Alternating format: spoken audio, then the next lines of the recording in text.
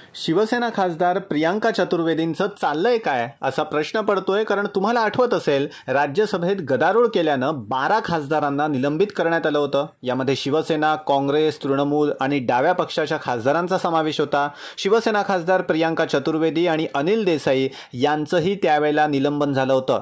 त्यानंतर चतुर्वेदींनी मोदी सरकारवर तोफ डागली होती. पण आता तर शिवसेना खासदार प्रियांका चतुर्वेदी यांनी उपराष्ट्रपती व्यंकय्या नायडू यांच्याकडे थेट राजीनामाच पाठवून दिलाय.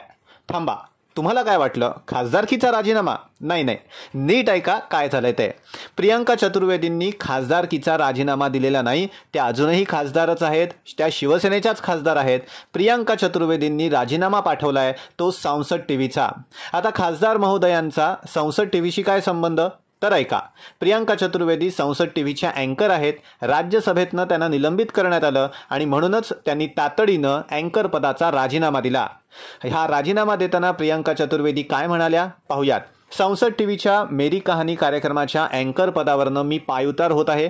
संसदीय जबाबदाऱ्या पार पाडत असताना मनमानीपणे बारा खासदारांचं निलंबन करण्यात आलं. मी खासदार म्हणून माझ्या कामाबद्दल कटिबद्ध आहेच. तितकीच मी कार्यक्रमातील जबाबदाऱ्यांबद्दल देखील कटिबद्ध आहे. त्यामुळे मी त्यापासून दूर जाण्याचा निर्णय घेते गुन्हेगारांना स्वतःची बाजू मांडण्याची संधी मिळते पण आम्हाला ती देखील मिळाली नाही असं चतुर्वेदींनी उपराष्ट्रपतींना पाठवलेल्या राजीनाम्यात म्हटलंय. राज्यसभेत गोंधळ घातल्याप्रकरणी बारा खासदारांचं निलंबन झालं होतं. पावसाळी अधिवेशनात घातलेल्या गोंधळामुळे ही कारवाई झालेली होती. या कारवाईमुळे निलंबित खासदारांना अधिवेशनात सभागृहाच्या कामकाजात सहभागी होता येणार नाही. निलंबित खासदारांमध्ये काँग्रेस तृणमूल काँग्रेस सीपीआय सीपीएम आणि शिवसेनेच्या दोन खासदारांचा समावेश आहे. प्रियंका चतुर्वेदी ही निलंबित खासदारांमध्येच आहेत. त्यामुळेच त्या नाराज होत्या आणि म्हणूनच त्यांनी अँकर पदाचा राजीनामा दिला.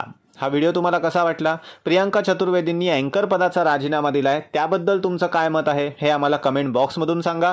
अधिक माहितीपर व्हिडिओसाठी आमचं यूट्यूब चॅनल सबस्क्राईब करा.